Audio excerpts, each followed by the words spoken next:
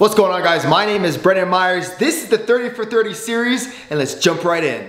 They got problems on problems on problems on problems on problems on problems. I solve them. I run through the money. The pressure be calling. Left on my blessings. I feel like I'm falling. The birdie is back. Tell me I'm garbage. I'm going through something. That's why I ain't calling. Phone and progression is all that I wanted. All right, so today we have back on the agenda. And 30 for 30 just means that we're coming back with new videos almost every single day for a 30 day period so that you could be working out not only in your house or maybe even at the park with bodyweight training only. Can you build muscle? You absolutely can. Now before we jump into the actual workout, I wanna give you a few tips you can be following not only for this workout, but future workouts, and let's get started. All right, quick tip number one. If you are in a caloric deficit and want to lose weight, you can still enjoy the foods you'd like. If you do, it won't ruin your road to weight loss. Number two, the more advanced you are, the slower your body weight movement should be for this workout. Number three, volume is crucial for muscle growth. Although we can't use a controlled resistance like in the gym, we can still make workouts extremely difficult. Number four, soreness doesn't 100% correlate with muscle growth. However,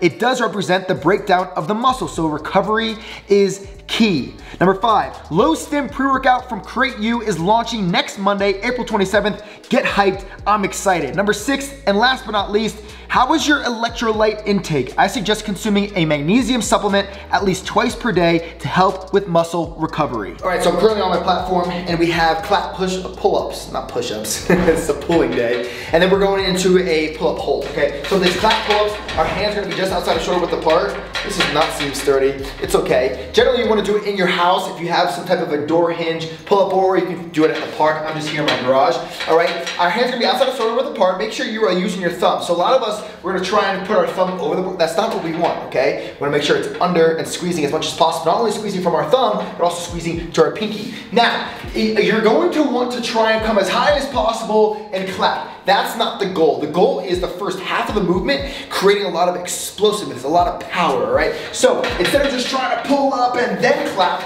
I want you to explode here and clap. So explode and let go of the bar halfway through so that you are coming higher up in the positioning. You don't, again, you don't wanna go too high with your chin over the bar. It's not really gonna be beneficial. We don't wanna, we don't wanna put your shoulders at risk. From there, we're gonna move straight into just a pull-up hold. Now your pull-up hold, you're gonna want to, again, be above the bar. Then you're really just stabilizing yourself with your, your body. And that's not what we want. We want to really contract those muscles as much as possible, okay? So instead of being all the way over the bar, you're gonna come a little bit lower and you're gonna be here about eye width to the, to the bar. Jeez.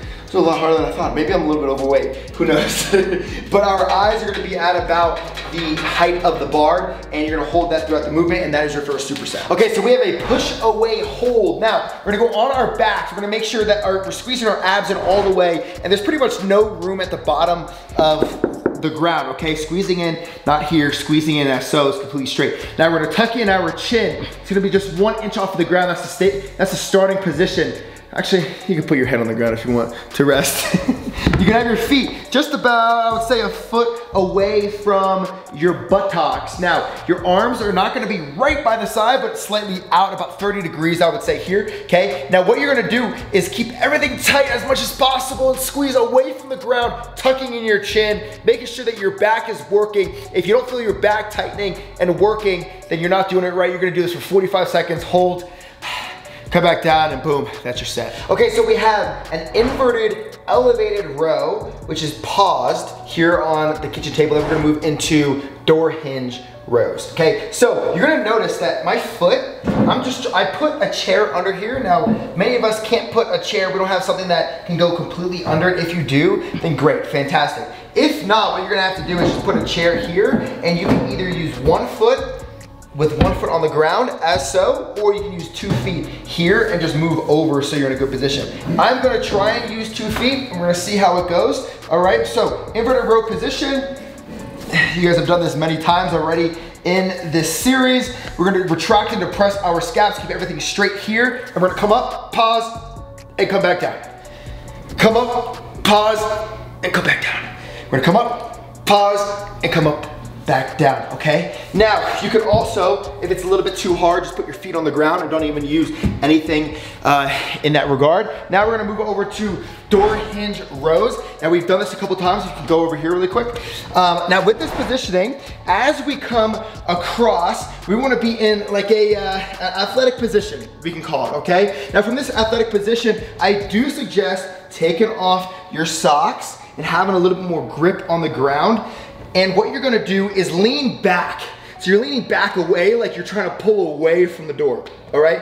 From this position, we're going to pull while you're bringing your feet closer and you're coming up in extension of those hips, keeping everything tight all the way, boom, and then coming back, okay? So it's about a four to five second row. So again, we're pulling away, keeping our chin tucked. We're pulling a couple steps to create resistance. Boom, in this position, squeezing, tightening everything, all the way up and boom.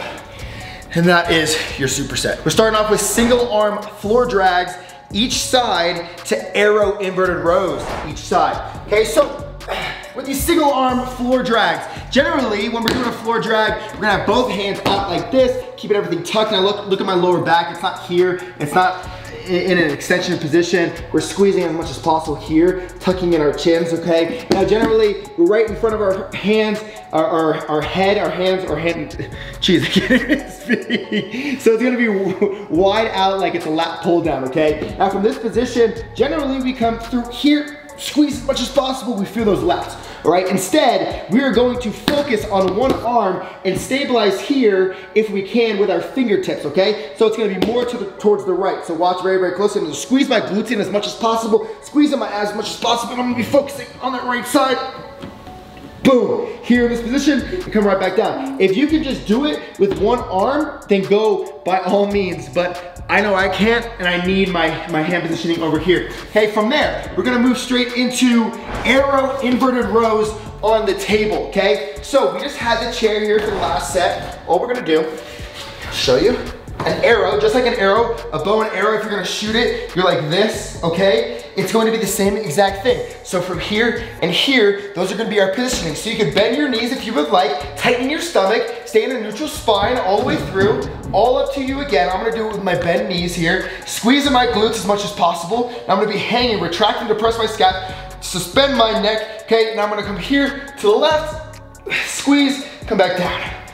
Up to the right, come back down. Now the wider your hands, the better it is going to be for the range of motion and the comfortability of the movement. And then you can also let your, your feet out a little bit further. And if you're really more advanced, I want you to go ahead and use some type of a chair elevation, all right? And that is your superset. Okay, last set is gonna be as many reps as possible. That's what AMRAP means. It's gonna be chin-ups. Now, I wanna make sure you're doing these correctly because it's a closer stance here, which means that all we're really trying to focus on is our elbows driving in and our shoulders externally rotating externally rotation, okay? So it's opening up here with our chest, but also driving our elbows in. What this is gonna do is put a lot more strain and contraction on those lats. We don't really want strain, but contraction on our lats and focus on our biceps even more, okay? So from this positioning, I'll show you here, okay? Now also, I don't want you to round your low back at all like this or round your back at all. I want you to squeeze everything in as tight as possible. When you come up, squeezing those elbows together as much as you can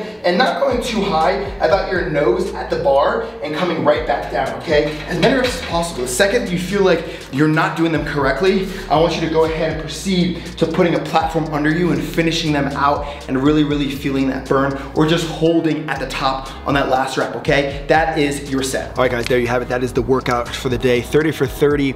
I'm super excited because over these, these 30 days, we're, we're just pounding out a lot of great workouts here at the house and even a little bit at the park. You can build muscle with only bodyweight training. If you don't believe so, then you're probably not training correctly and you're not eating the right foods. Remember, nutrition is such a huge part in muscle growth and really building strength. Now, resistance, when you go to the gym, you go back to the gym, you're gonna notice that, hey, you actually have a little bit more stabilization with some of these movements because a lot of core is involved with the bodyweight training movements, all right? So I'm excited to hear your feedback. Comment down below with how you feel. Give this video a thumbs up. Also, follow me on Instagram at the B Meyers right here um, and subscribe if you haven't already. I'm Brendan. This is 30 for 30 and I'll see you next time. Peace.